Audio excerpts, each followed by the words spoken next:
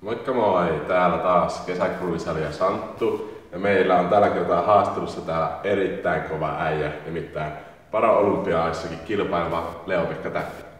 Tervetuloa. Kiitos. Mitä sulle kuuluu näin kesällä? No ihan, ihan hyvää tota noin, pikkuhiljaa tässä.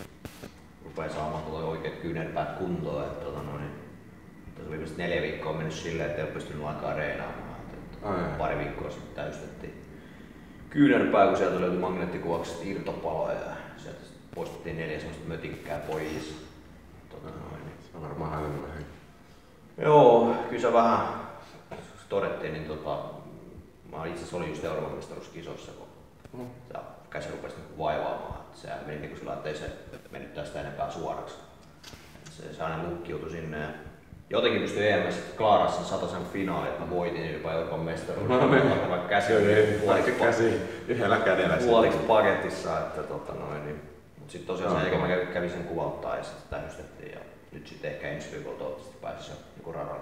No, nyt vaan nopeita parantumista enoksi taas. Tota, onko sulla mitä kilpailuja tulossa?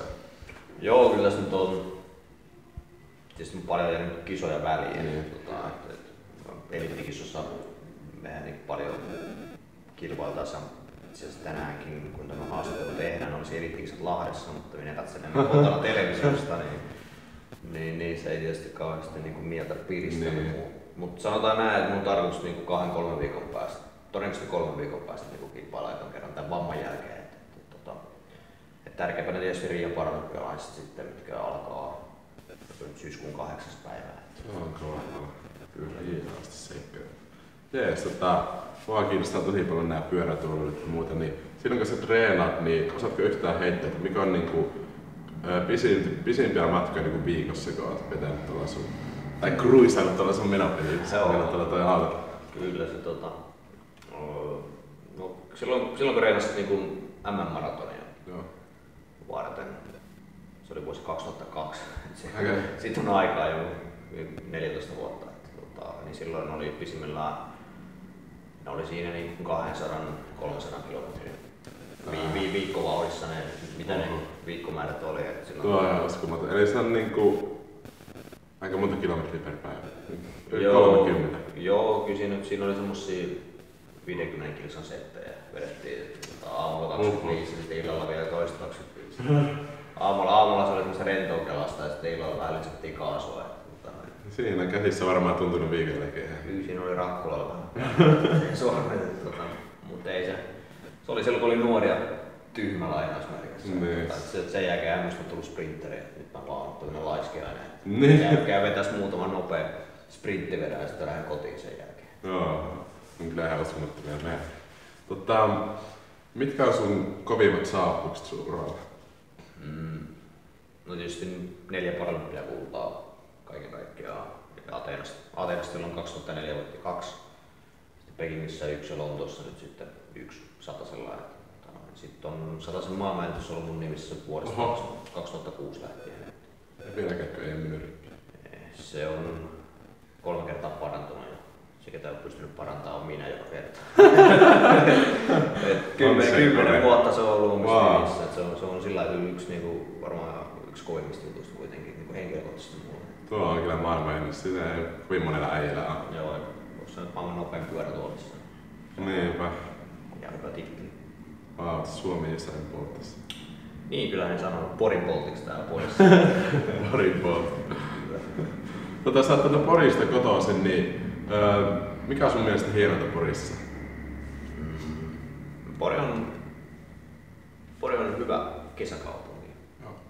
Tota, hyvä beachi, Yyteri. Suomen vitsi, mä en tsekkasin. niin, harvit on pilvinyt päivät. Niin.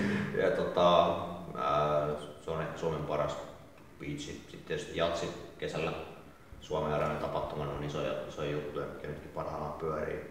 Sitten mikä urheilijan kannalta on erittäin hyvä, että on loistavat harjoitteluolosuhteet. Joo. Että et, niin talvella pystyy vetämään karhuallissa ympäri, ympäri talvea ja uimahalli on loistava. Stadion, tietysti kesällä pystyy vetämään hyvin. Et, tota, ei jää niinku siitä kiinni. Et sen takia varmaan yksi syy, miksi Porissa on tullut niinku tosi hyviä Niin. urheilijoita niin ylipäätänsä. Ja tietysti Porin S nyt on tietysti se kovin juttu ehkä. Tota, tossahan tuli paljon nähtävyyksiä, mutta mä aina tykätään Nikon kanssa cruisella täällä kaupungissa, missä ollaan niin nähtävyyksiä ympäriinsä, niin voisi sulla heittää meille jotain hienoja paikkoja, missä käydä, tai Yyterin lisäksi.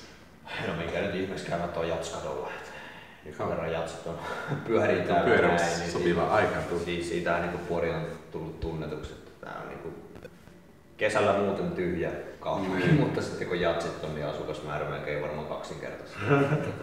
Jatskadolle ehdottomasti. Yes. Tota, vaikka sä oot pyörätuolissa, niin pystyt sä silti autoilemaan, jos pystyt? Niin, niin. Joo, totta kai. Että tuo ajokortin noin 15 vuotta sitten isä opetti ajamaan hellästi. Meillä oli lämpimät isä-poika-hetket siinä. niin. Isä ei ole ehkä niin kauhean raahallinen autokouluopettaja. Että, tota, ei, ei siinä, tota, mulla on käsihannittalaite tietysti autossa. Et, et, et siinä on niinku, samassa laitteessa on niinku jarru ja kaasu. sitten, Et, työnnetään eteenpäin, ne on jarru ja sitten käännetään näin, niin sitten on niinku kaasu. Että, tota, Joo. se on aika simppeli tämmöinen juttu. Automaattiautosta. Joo. Tuleeko sulla paljon ajeltua autoa? Kyllä mulla tulee tosi paljon. Vuodessa ne yleensä siinä 40 000 paikkeilla. Ja sitten on muutama kerran, kun tykkään monesti talvella asua Espanjassa, niin tota, ajan auton Suomesta, Suomesta tota, Malakaan, niin siinä, Oikeesti? siinä on saanut Aa. köydetellä sitten se Tukholmasta, se on ne- 4000 kilsaa. No. Niin, niin, tota, mutta siis kyllä tosiaan auto on tosi tärkeä. Joo. Kyllä se, kyllä se tulee käytettyä. No niin, se on hienoa. Ei kai tässä muuta, se oli siinä. Kiitos, että tulit tänne haastatteluun tänne Käpin toimistolle jälleen kerran. Jep, kiitti. Kiitos.